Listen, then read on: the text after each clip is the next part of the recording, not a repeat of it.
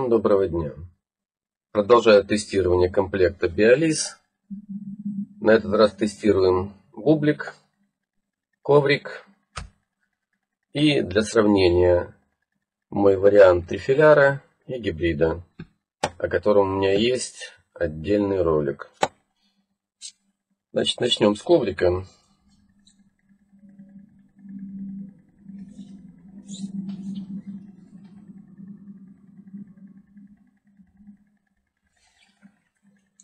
Размер у него около 60 сантиметров на липучках. Возможно, это достаточно удобно окружать себя таким бандажом. Но тут, по-моему, больше недостатков, чем достоинств. Значит, что он из себя представляет? Гибкая основа. Внутри так скажем, плоская, разложенная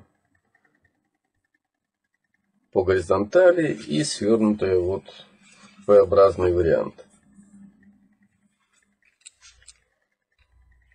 Значит, я, как всегда, буду смотреть своими датчиками, пока без всяких осциллографов. С осциллографом будет отдельный разговор. Здесь я приглушил все заклеил индикаторы, потому что мы будем все это при низком освещении смотреть, так как все-таки сильно все засвечивается при таком. Вот я его включаю.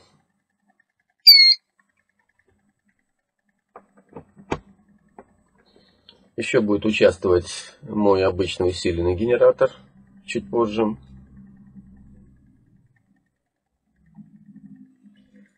Вот пока я включил его на самый малый ток. И делаем максимальный. Вот свет я приглушу. И как видите, вот эти все датчики, они срабатывают на довольно большое расстояние. Даже этот. Это, кстати, мой новый датчик гибрид. Я уже его показывал в прошлый раз который показывает сразу и паразитное вот это излучение, которое я всегда считал паразитным, и статическое полезное. Вот этот индикатор. Как видите, при большой мощности он выдает и то, и то, но паразитное у него поле очень большое. Точнее, объем, который он выдает.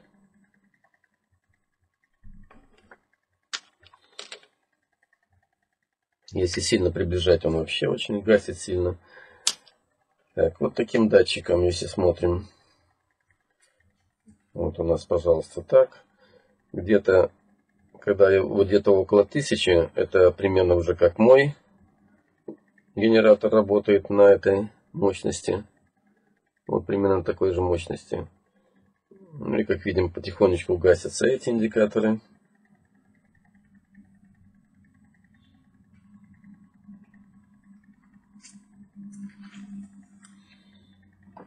То есть для, делаю большую мощность, чтобы показать, насколько он эффективно работает. Хотя, естественно, это все надо потом будет уменьшать несколько раз по мощности. Так как на таких мощностях я очень не советую работать даже вот с этим бандажом.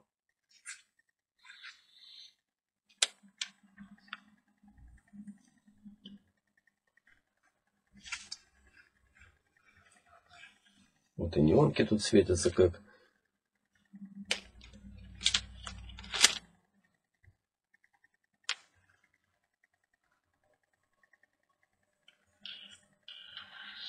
То есть на большой мощности он, конечно, статику дает, но эта мощность настолько большая, что она уже становится с точки зрения радиоволн достаточно опасной. Поэтому я и говорю, что эти мощности не очень полезны в таком случае. Тут баланс надо соблюсти. А, конечно, когда мы уменьшаем мощность, в первую очередь статическое излучение, которое нам надо, оно значительно больше падает, нежели вот такое.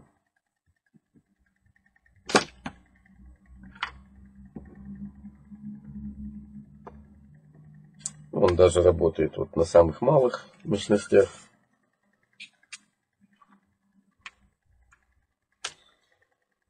Да, еще раз напомню, почему индикатор у меня именно сделан высокий, чтобы он не сильно влиял. Потому что, видите, вот когда я кидаю такой, сразу падает мощность. Ну и лишний раз напоминаю, в прошлый раз я уже об этом говорил.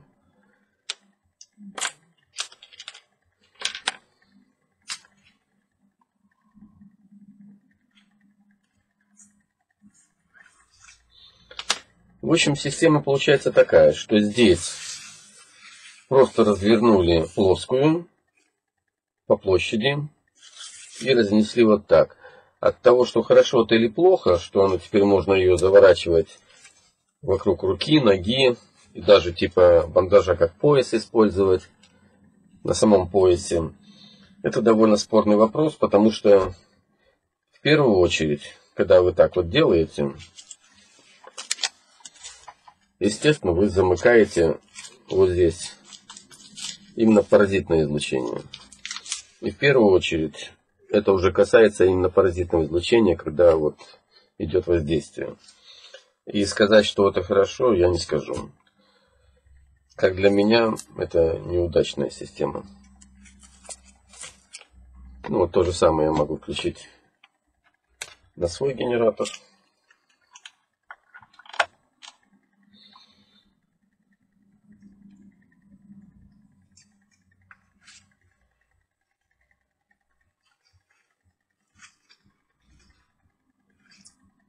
Примерно он так будет выдавать, как этот при около одного, одной тысячи.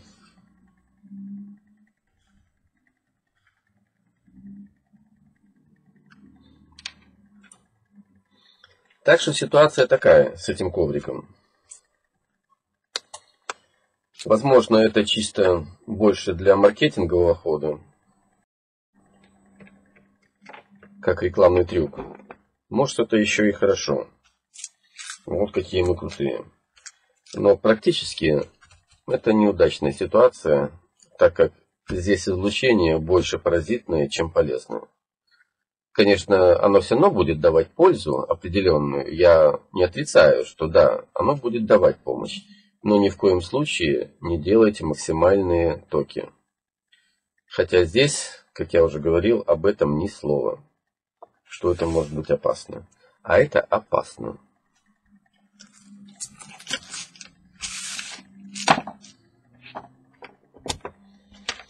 И эта конструкция, как мне кажется, она не сильно надолго ее хватит.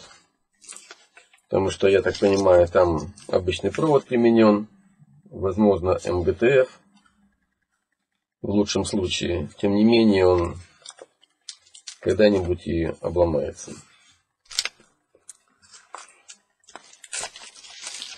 В общем, как по мне, чисто для галочки, чтобы было. Идем дальше. Теперь бублик или тор. Намотан он на витой паре. Довольно крепко. Да, про частоты я забыл сказать. Этот коврик на 272 это вот на Биолисе и 287 килогерц, когда на моем генераторе, да, и полторы тысячи пикофарад у него емкость. Все-таки это же не катушка, а активная емкость, как я вам не раз говорил.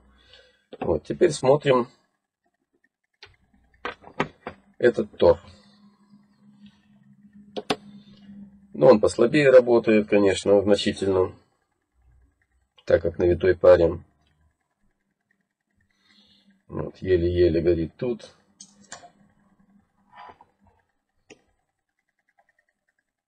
Даже вот даю максимальную мощность, но опять же это вот недостаток всех этих вот торов на витой паре. Они не разгоняют достаточно нормальную мощность. И генератор работает практически в холостую. Что у нас показывает этот индикатор. И мы видим, что здесь вот слабовато все. То есть, видите, я сделал максимально, а мощность вот где-то 500 миллиампер. Все, это по нем.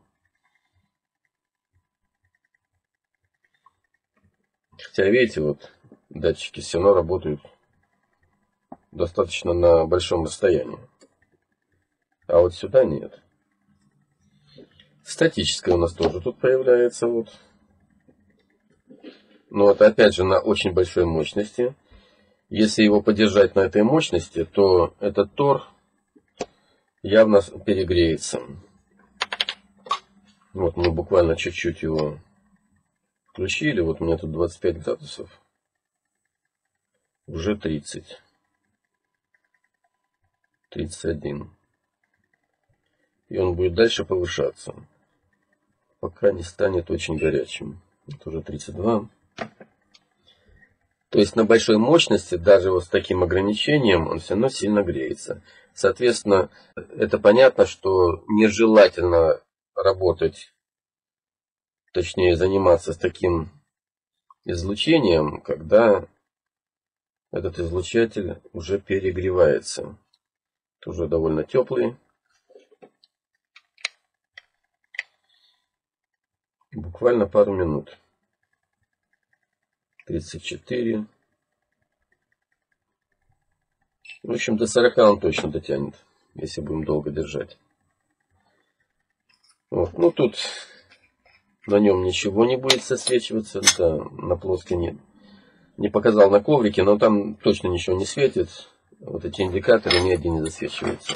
Даже при большой мощности. Тут то же самое. Да, убираю свет. Значит так, вот смотрим здесь. Оно пытается что-то засвечивать, но опять же это все на большой мощности, как я вам говорил.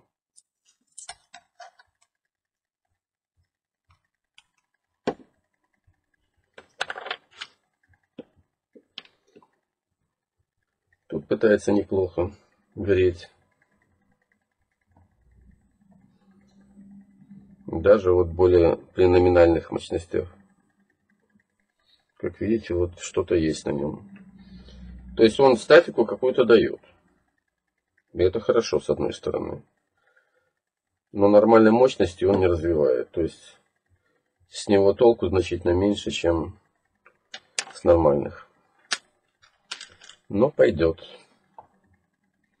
Опять же, я не говорю, что он бесполезен. Нет, он дает какие-то возможности, но эффект не тот.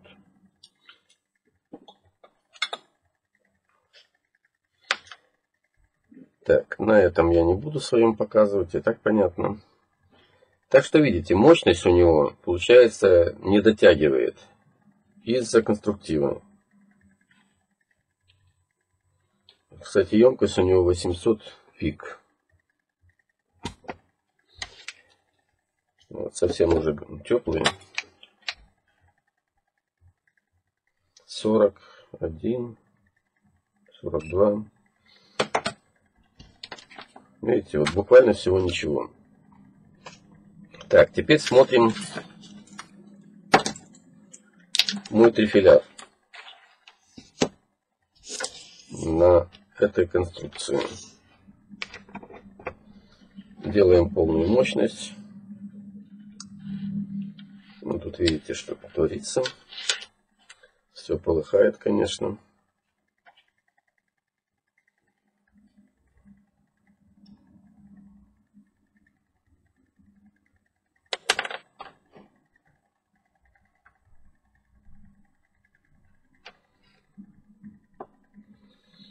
Да, и тут, видите, развивается мощность нормально.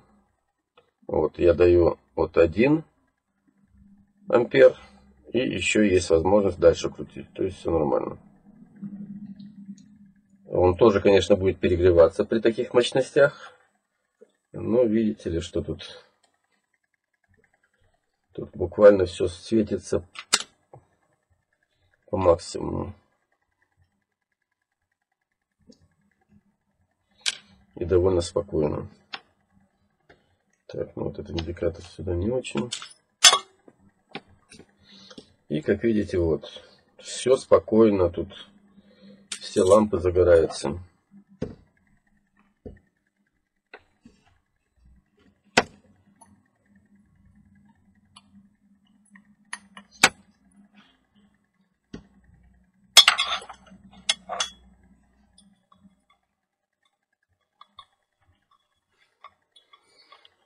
Вот при тех же мощностях, при тех же возможностях этого прибора всего-навсего три филяр на МГТФ по моей конструкции. И вот видите, какая разница.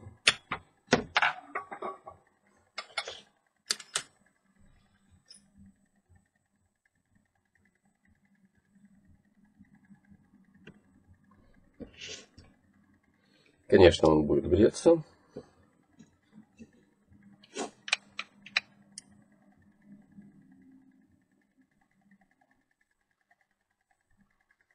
Тридцать четыре пока что.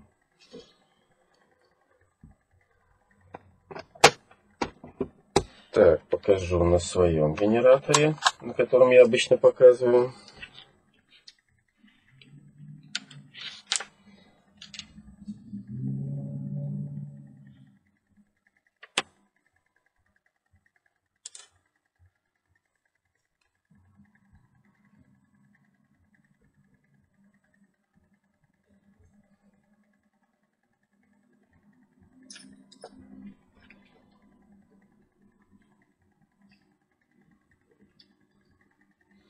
Есть это почти два раза меньше, чем этот на максимальной мощности, что я показывал. Здесь вот пытается что-то делать.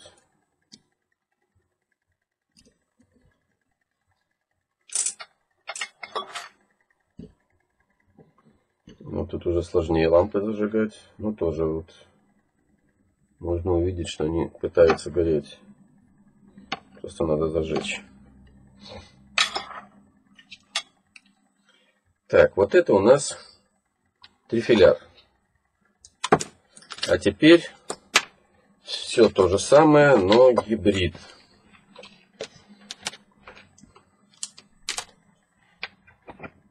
Делаю полную мощность. Так, я это, наверное, так сделаю, чтобы не засвечивало.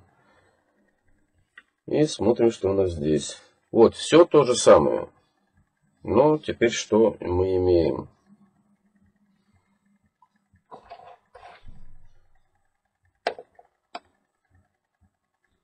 На каком расстоянии?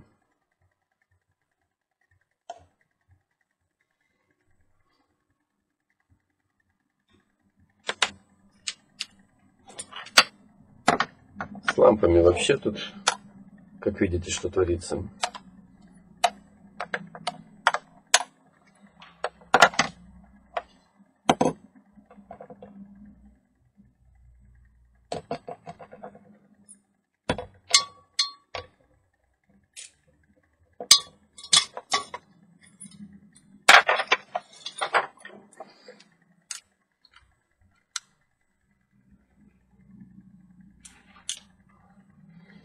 То есть все полыхает при тех же параметрах.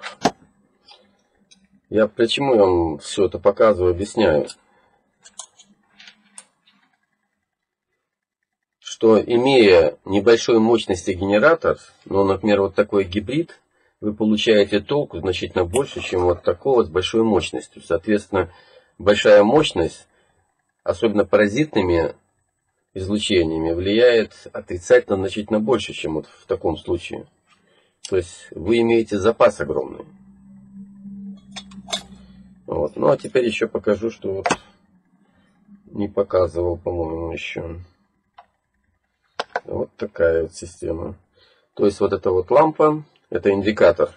Если помните, газоразрядный индикатор неоновый, который применялся в латрах там и так далее, всяких на 220.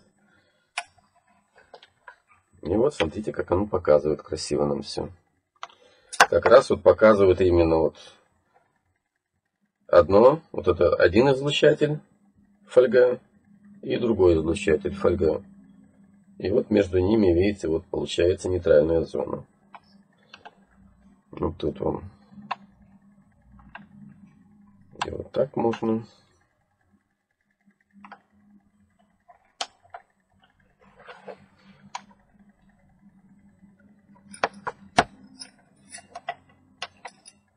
И вот так.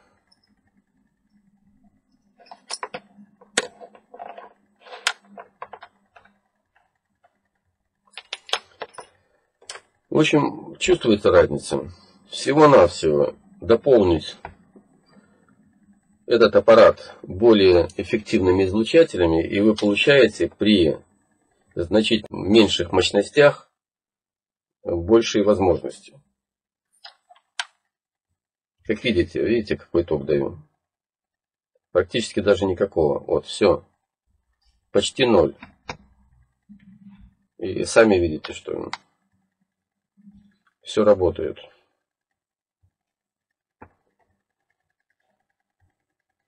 А на больших то вообще уже вот, на каком расстоянии.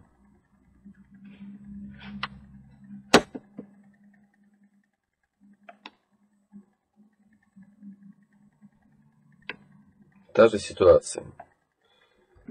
И возможность вот такого статического излучения, так называемого атмосферного электричества, вы получаете гораздо больше пользы, чем от этого.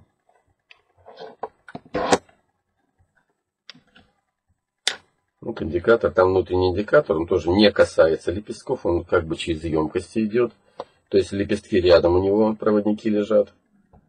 Я уже показывал это, и видите, все светится. Даже при минималке, абсолютной минималке. То есть здесь сейчас мощность э, в раза 3, то есть здесь показывает 100 миллиампер. Ну вот раза 3-4 меньше, чем обычный генератор на TDA 7056. И он работает. А уже вот такие вот вещи, они фактически с них толку уже никакого. Хотя на малых токах тоже проводят эксперименты, и ребята говорят, да, у них хорошо получается. Но вы сами видите, что паразитного хватает, а то, что нам надо, видите, как он, когда подводим близко.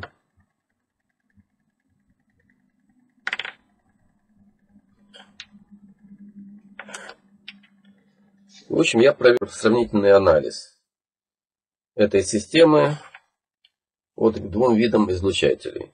Значит, бублик, я считаю, надо дорабатывать, как внешне, эргономически, потому что это не дело. Это я могу себе позволить его изолентой замотать вот так вот и кому-то дать поиграться. Но когда промышленный вариант, то такое вот недопустимо. Обязательно надо его какую-то оболочку прятать. Это само собой. С ковриком вообще я считаю, он совершенно неправильно сделан. То есть там максимум негатива, минимум позитива. Да, он работоспособен, да, он может какие-то там вносить возможности, но баланс положительного отрицательного у него значительно больше в отрицательное. Так что вот такой вот сегодня обзорчик. В следующий раз я, наверное, все-таки к посохам подключусь. Просто мне надо уже из этой комнаты выходить. Использовать больше помещения. Ну и еще инструкцию. Может быть, сейчас ее распечатаю, не, даже не знаю. В общем, вот на сегодня пока все. Да, и сразу хочу сказать, тем, которым, кто смотрит и им не нравится то, что я делаю, то, что я показываю, там нудистика для них какая-то, там что-то я не то им показываю. Ребята, идите лесом. Я что хочу, то и делаю. Это мое абсолютно добровольное дело. Я никому ничем не обязан. Я нашел время, показал. Нет у меня времени. Ребята, в другой раз. И не надо мне показывать, куда мне идти. Иначе я вас тоже буду посылать. Все. Будьте здоровы. До свидания.